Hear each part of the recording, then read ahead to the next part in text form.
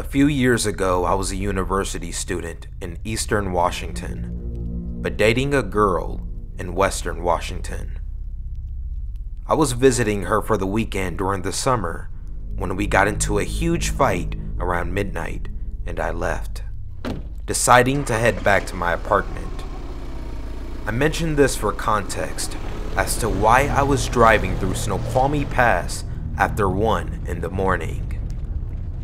I'd never gone through the pass so late before, and what is usually a very busy stretch of freeway on the I 90 was completely empty. I went well over an hour without seeing a single vehicle going either way, so naturally, I was driving way too fast. At the time, I had a 73 Chevy Nova. It wasn't quite the classic, but it had power and a complete lack of AC. Even though it was late at night, the combination of a warm summer night and the large amount of heat that bleeds through from the engine meant that I had my windows down and was sweating. Not far into the east side of the mountains, around 1:30, I hit a long stretch of straight road that doesn't have any on-ramp or any way to get onto the freeway when suddenly, a set of headlights appeared behind me, something like 200 feet back. I glanced back at the lights, puzzled as to where the vehicle could have possibly come from. I noticed that despite the fact that I was absolutely hauling, the lights were gaining on me. I decided to switch lanes and slow down a bit so it could pass. After a moment, the vehicle now only half that distance, moved over behind me into the same lane. This is when I began to panic. I'm in the middle of nowhere, hadn't seen another vehicle in over an hour, and now I've got some aggressive driver running up on me. I watched as those lights got closer 60 feet, 50 feet, 40 feet. In seconds, it was upon me. I braced against the steering wheel, expecting to get rear ended by a vehicle going much faster than me now. I watched in my rearview mirror in horror as those headlights blasted right into the back of my vehicle, and suddenly, everything froze. Quite literally. Nothing physically hit me, but the whole vehicle frosted over and I could see my breath. I hit the brakes and did my best to pull over, despite not being able to see through my windshield. Every hair on my body was standing on end. I got out of my vehicle and paced back and forth, examining my car, which was already starting to defrost as streams of water poured down on it. There was no damage to my back bumper, and absolutely no sign of whatever vehicle had hit me. Eventually, I calmed down enough to get back in the car and drive the rest of the way back, wake my roommates, and explain what had just happened.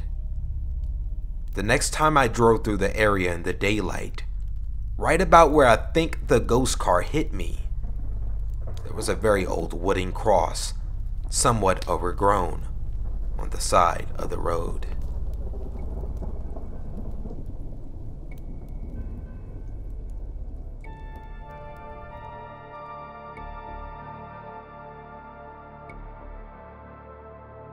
I wonder what the old wooden cross was all about.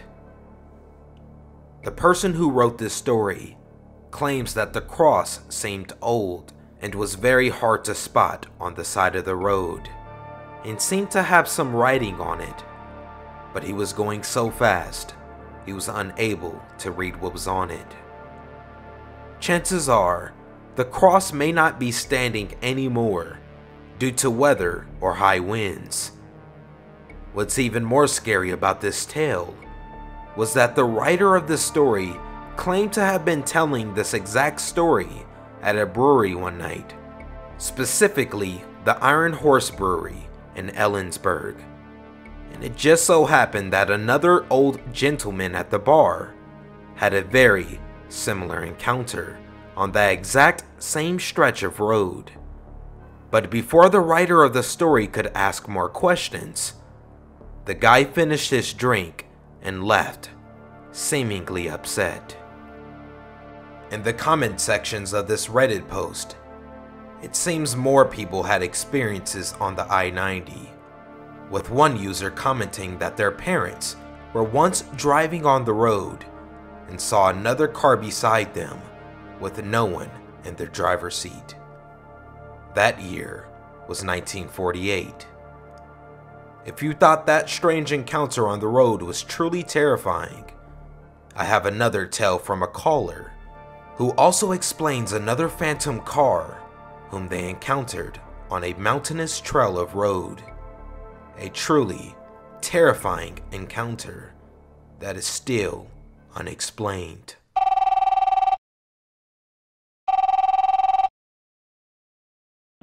Hey man, uh, so check it out. This is like the only experience that I could say uh, that that that that was a, a real experience.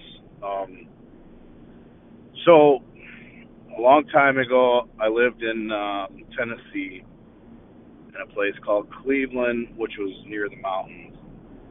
Um, a friend of mine, uh, Chip, and I worked at the same uh, restaurant, a Taco Bell, and we would um, take these trips to the mountains and smoke a little weed or whatever after work. It was kind of what we did. So anyway, we were going to the mountain to uh, smoke weed. Um, so let me explain this mountain. This mountain is called Chilhowee.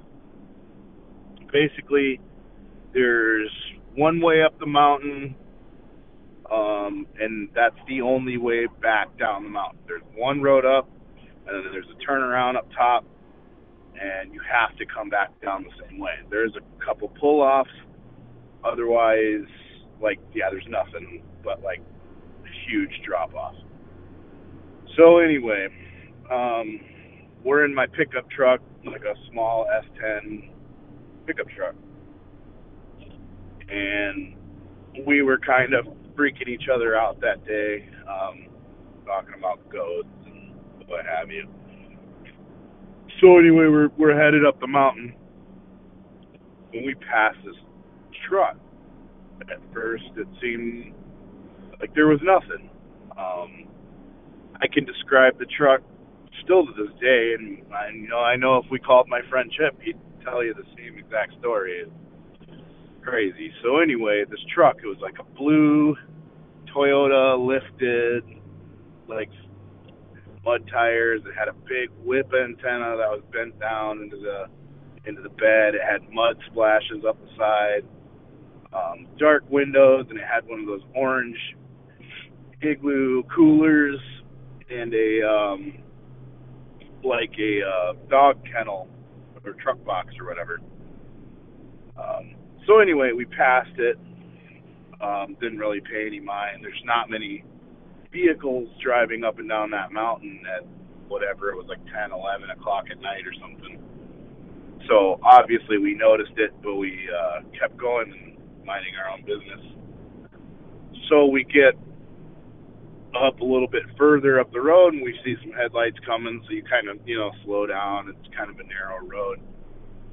And it's that exact same blue truck coming down.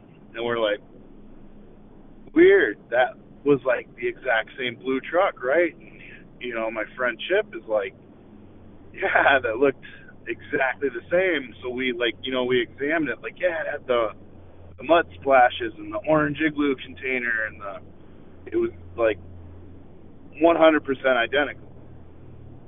So we keep going up to the mountain. Now, mind you, we had like a specific spot towards the top of the mountain, we'd go hang out in this like gazebo and and uh, chief, as the kids say. Um, so we're going up, you know, up the twisty still. We see some headlights coming again, and we're like, dude, that'd be crazy if it was if it was the blue truck again. And I shit you not, it was the same blue truck. We slowed down and everything, and we're like, what the hell, man? Um, same mud splashes, everything, same truck, like 100% identical. Now, this is the point where we started getting a little nervous, and I asked him, um, was there any way for that vehicle to turn around and go back to the top of the mountain and come back down to to to, to fuck with us. And you know, he's a Tennessee native. I'm a Yankee, but and, and, and sorts. So he's like, no, man. Like you know, and I've been to the top. I know. So you know, no, man. There's no way. It's absolutely impossible. There's only one road up and only one road down. It's the same road. It's empirically impossible. So we're starting to get a little nervous and you know kind of like ghosting each other out a little bit. And it it's pretty scary. I'm not gonna lie. At this point, so we're getting we're almost to our spot, and we see some headlights coming.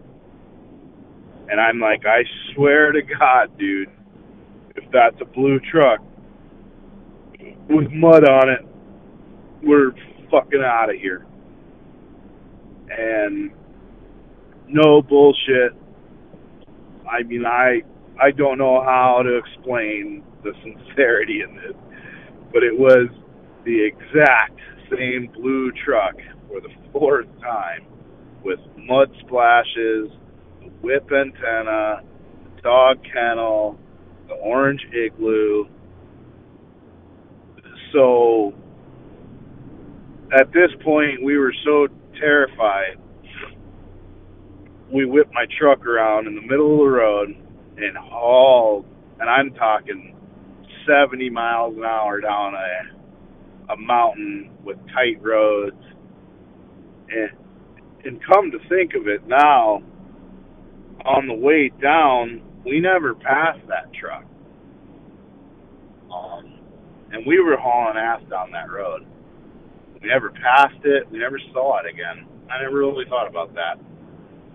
Um, but yeah, it was it was uh, it was terrifying. I, that was the only experience, whether it was a glitch in the matrix or it was like a ghost truck. We we still don't know, and, and it's just a terrifying experience. All I got to do is call him and ask him about the truck, and he like he will start shivering so, you know, that's just that that's my experience. That's the only thing I've ever encountered. And, I mean, I don't know who else has experienced something like that, maybe a glitch or whatever, but yeah, that's it, man.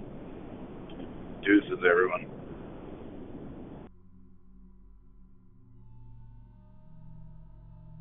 What do you all think happened in this story?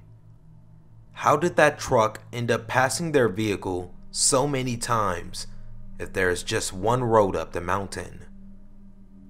Interestingly enough, I found a Facebook post mentioning that the Chilhowee Mountain is indeed haunted, that many stories and legends have been passed down from generation to generation through the indigenous people who have lived on the lands known as the Cherokee. One legend they tell is about a ghostly woman known as the Spearfinger, who has stone like skin and a very sharp forefinger on her right hand, just as sharp as a spear. Her most dangerous attribute is said to be deception, especially because she would appear as a regular village woman or sometimes a family member to which she would lure unsuspecting children by offering to comb their hair, in which she would lull them to sleep and then proceed to stab them in the back of their neck or through their heart, and then steal their liver for a nice dinner.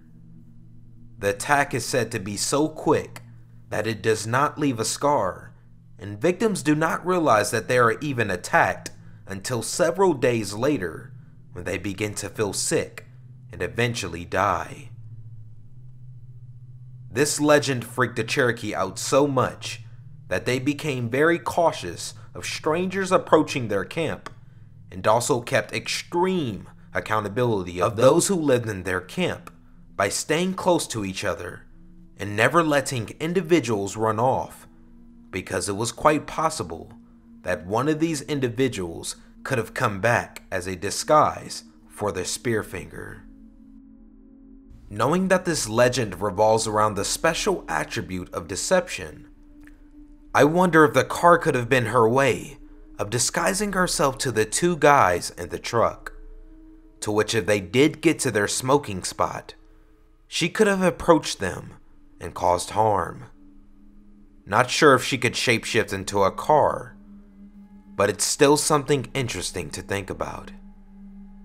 There are other hauntings that are said to happen in that area, such as a orb that many people have experienced while hiking, which is said to be the spirit of a young child that disappeared into the woods back in the 1800s. This orb apparently leads lost hikers out of the woods. With all of that said, we will be back after these messages.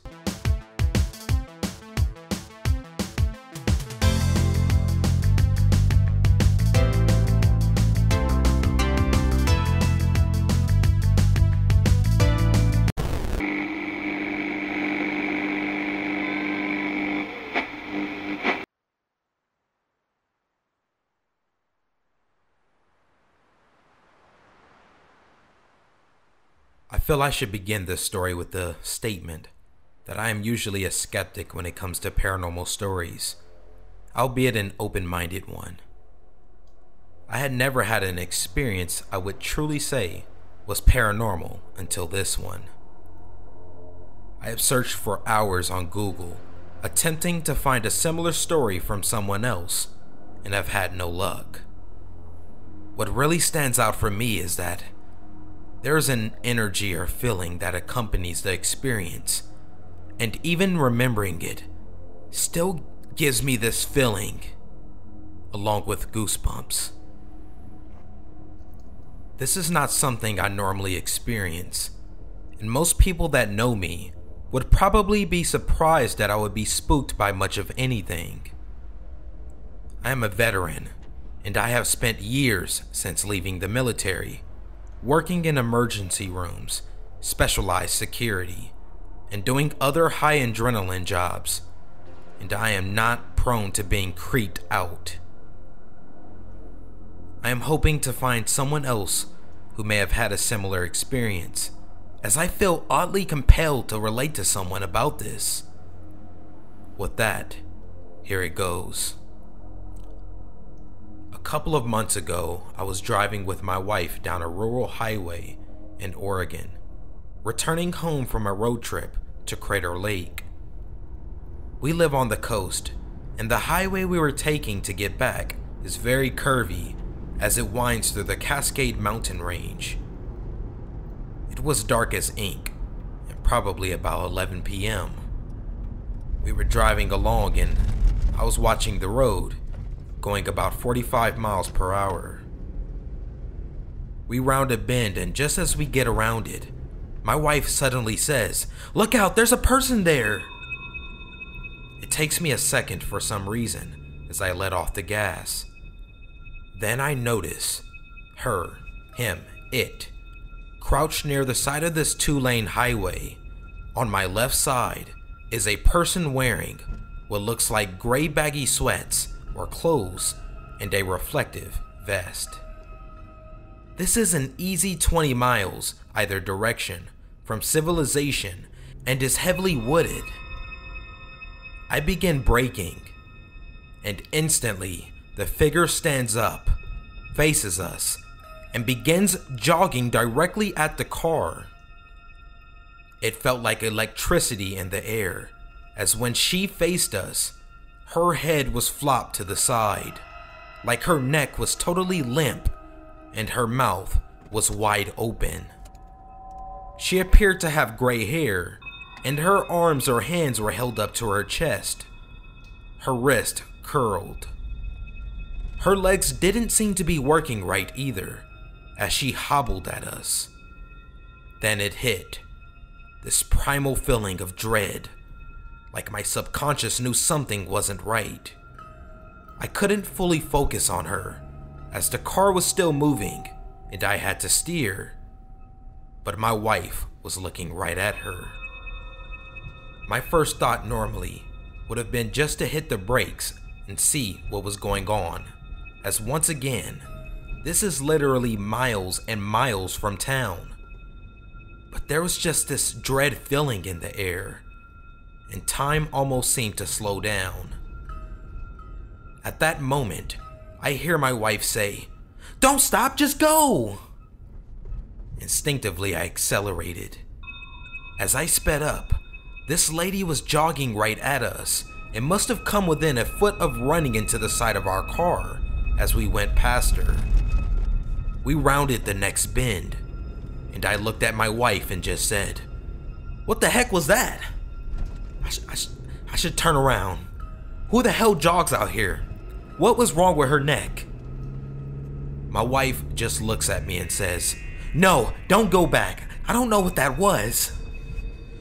I told her I couldn't look directly at her for long as I was focused on the road, but described what I saw, and she confirmed that she saw the same. She said that when she came up to the side of the car, she was staring right at us, and my wife locked her in the eyes. But she didn't have any pupils, and her expression stayed just like frozen, mouth open. We scoured news stories, and I even contacted authorities. They advised that no one was reported missing or hurt out there. I still get this strange, intense, electrified feeling anytime I think about her, as does my wife. Anytime I talk about her, I'm compelled to refer to the person as it. All I know is it wasn't right. We have now coined her the floppy headed jogger. Have any of you experienced something like this? Because if you have, I would love to hear about it.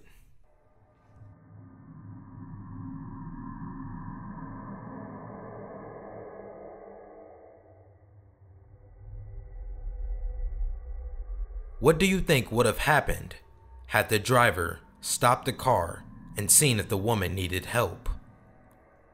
Several Redditors had questioned why did the figure wear a reflective vest? Some have mentioned that it could have possibly been the representation of a roadside worker who was killed while on the job, or possibly a skinwalker. Some other Redditors have claimed to have seen similar accounts on the Oregon coast, a coast that is quite the creepy drive at night, especially with all the fog that fills the road.